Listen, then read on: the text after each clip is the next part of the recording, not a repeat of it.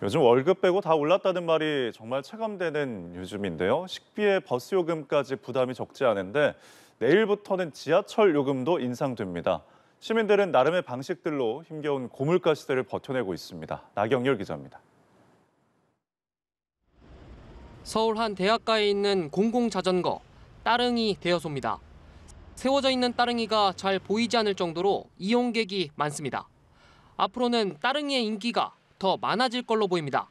오는 7일부터 수도권 지하철 기본 요금이 1,400원으로 150원 오르는데 가까운 거리는 지하철 대신 따릉이를 타겠다는 시민이 많습니다.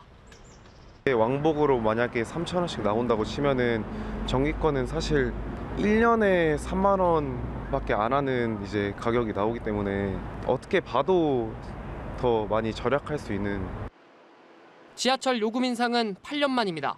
누적된 서울교통공사의 적자. 어쩔 수 없는 선택이라지만 대중교통을 이용할 수밖에 없는 시민들은 걱정이 앞섭니다. 이미 큰 폭으로 오른 택시비와 시내버스 요금에 지하철 요금까지 오르면서 경제적 부담은 더욱 커졌습니다.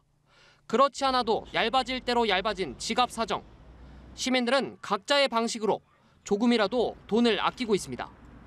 짧은 거리는 걷고 지하철 두 정거장 3km 이내는 좀 도보로 많이 걷는 편이고요. 웬만해서는 자동차를 이용하지 않는 편입니다. 가까운 거리에는.